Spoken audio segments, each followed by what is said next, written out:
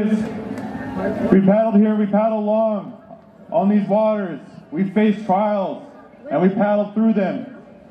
We've faced tribulations on land and we've come together and worked through it, come out stronger together. As a young skipper, I was tasked with one job, and that was to get this crew here to this landing safe and sound. And as you can see, they have most of their hands and feet and fingers still. Most of them.